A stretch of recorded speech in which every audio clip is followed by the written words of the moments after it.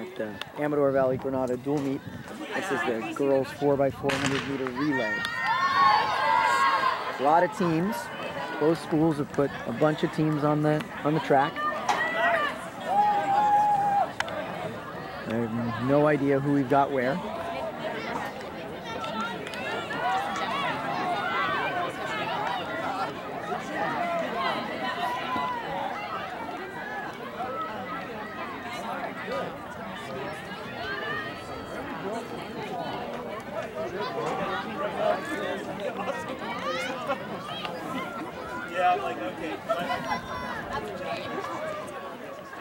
It's like Sarah Sanguinetti's out in front. I think that's who we've got there. Yes, indeed.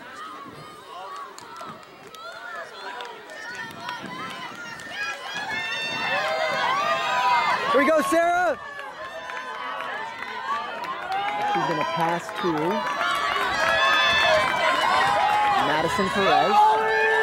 Looks like the split is about 63, so it's not anything super fast. Big lead.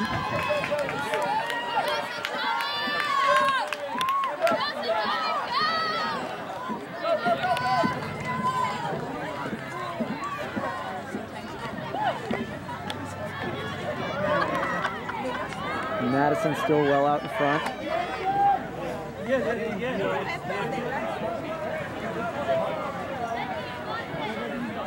About 30 seconds for the first 200, I think.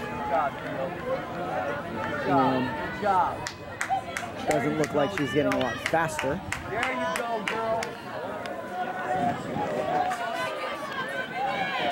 A little bit chilly and windy now. Looks like she's basically maintained the lead, may have even added a little bit to it, but a lot. Let's go, Madison!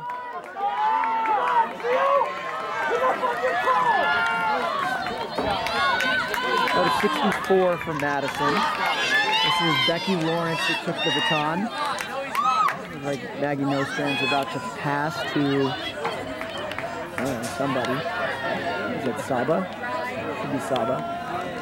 Back in front, uh, Becky looks to be pouring it on. Becky ran a 5:17 mile today as a PR. Uh, running pretty well right now overall.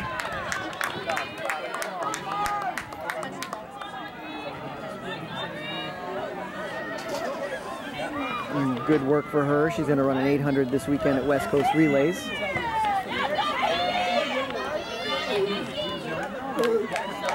The second runner in the race is a Granada runner. Let's go, Becky!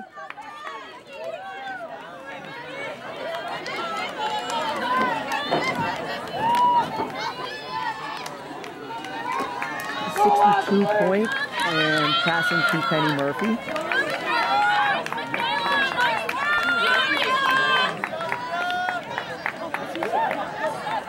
So Becky, I think, had the fastest split for the ladies.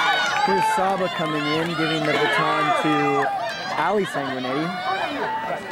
Um, and then Julia Smith and Elisa Matsoyan passing the baton to who? I don't know. Don't know who we got there. Um, getting back to Penny.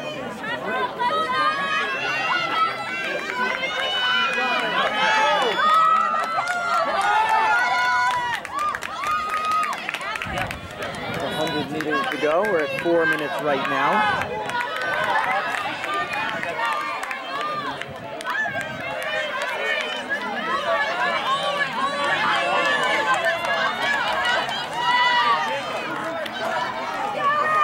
Go, Ashley, get her!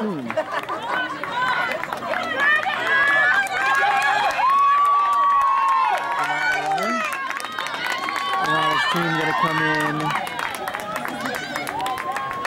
430. Let's go, Ali! It's gonna be Ali Sanguinetti next. Coming through. 439. Let's go, Jamie! Let's go, Caitlin! And Jamie Baratlis and Caitlin Cartwright, 446, 447 for their team.